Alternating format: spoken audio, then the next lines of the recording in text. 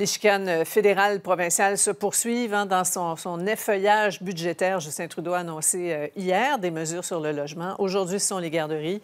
Il veut euh, mettre sur pied, euh, entre autres, un programme de près d'un milliard pour créer de nouvelles places abordables. C'est notre premier sujet de conversation avec nos analystes, Mario, Emmanuel et Gaétan, ce soir, qui est avec nous. Bonsoir, vous trois. Bonsoir.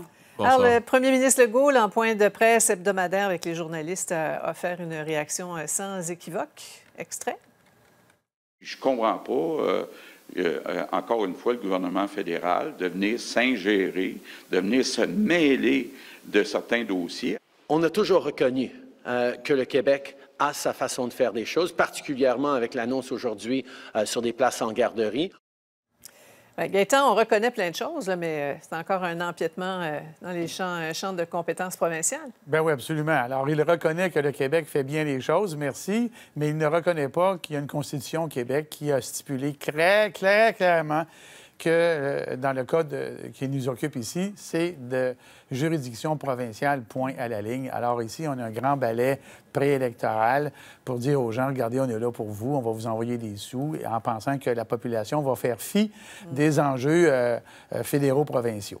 Ouais, pour dire aux jeunes et aux femmes, notamment, on va voir ça un petit peu plus loin. Mais Mario, les, experts, tu en parlais ce matin, hein, qui se sont penchés sur les, programmes, confirment notre, notre impression que l'ingérence du fédéral est à la mode. On, voit, on voit, le tableau, on l'a vu plus tôt. Là. Oui, mais en fait, ce que ça dit, c'est que l'ingérence fédérale ou la, la tentation centralisatrice d'Ottawa part de loin.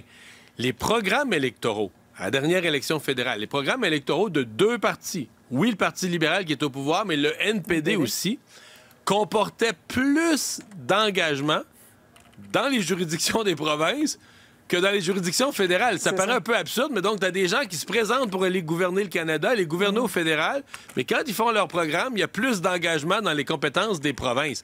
Alors, ça donne une idée d'espèce de mouvement centralisateur et du mm. côté dysfonctionnel du Canada qui se construit, des dédoublements de juridictions qui sont érigés en système. Oui. Tu dis oui, Emmanuel?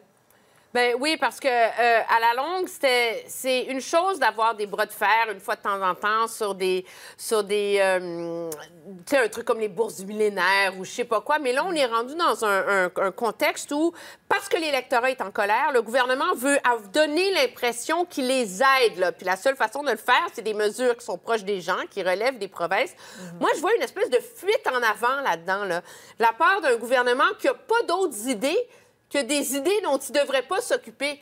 Alors que, objectivement, Mario le dit, il y a des enjeux majeurs qui touchent le gouvernement fédéral. On n'a qu'à penser à l'état lamentable de nos forces armées le sous-financement de l'aide internationale, le chaos dans l'immigration, la gestion des frontières, le crime organisé, l'ingérence étrangère. Je veux dire, la liste est sans fin, mais c'est comme si le gouvernement n'a plus d'idées de comment les rendre pertinentes pour l'électorat. Bon.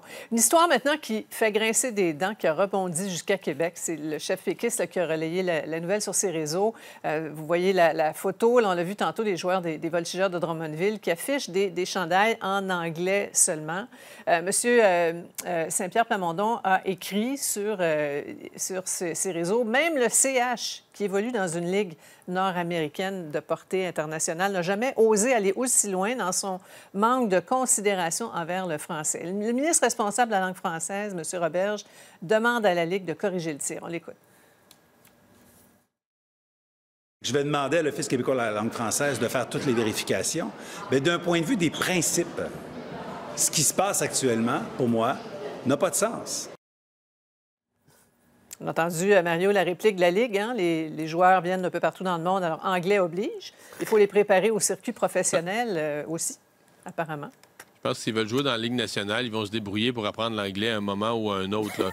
Mais euh, c'est comme inacceptable. Je pense aux partisans de ces équipes-là, des Saguenayens de Chicoutimi, des Voltigeurs de Drummondville, les gens qui payent les billets, les gens qui font vivre l'équipe, les gens qui vont encourager les joueurs, sont des francophones. C'est une ligue, oui, qui s'est élargie aux provinces de l'Atlantique, puis qu'on leur fasse une place en anglais, je peux le comprendre. Mais tu sais, que des joueurs euh, des équipes québécoises se retrouvent avec des chandails unilingues anglais comme étant les chandails de leur ligue, c'est euh, impensable, en fait. C'est inimaginable qu'on en soit rendu là. Un affront aux Québécois, dit le ministre de la Justice, euh, Gaétan. Oui, oui, absolument, parce qu'on vit dans une ère aujourd'hui, on a fait une loi récemment, la loi 96, qui traite de l'image française que le Québec veut projeter. Alors, on parle d'un club de hockey là, qui, qui est vu ailleurs, pas juste au Québec.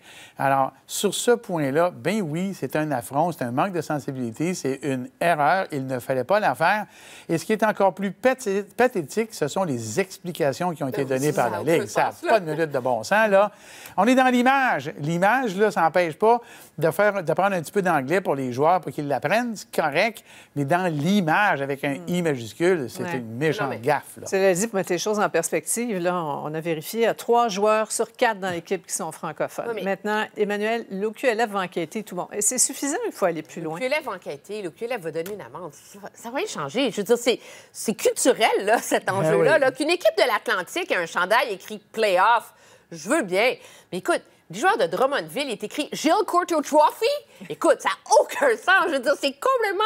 Et c'est comme si la Ligue, mais surtout les dirigeants de cette équipe-là, ont oublié qu'ils représentent des Québécois. Ils Voilà. représentent une culture, ils représentent une nation. Ils sont qui est plus grand qu'eux-mêmes. Là. Il y a comme un, un réflexe de coloniser là-dedans qui est vraiment comme pathétique. Là. Ouais. Et après ça, on se surprend qu'à Winnipeg, on chante Ligue nationale du Canada en anglais et en Oui, punjabi, mais pas en français.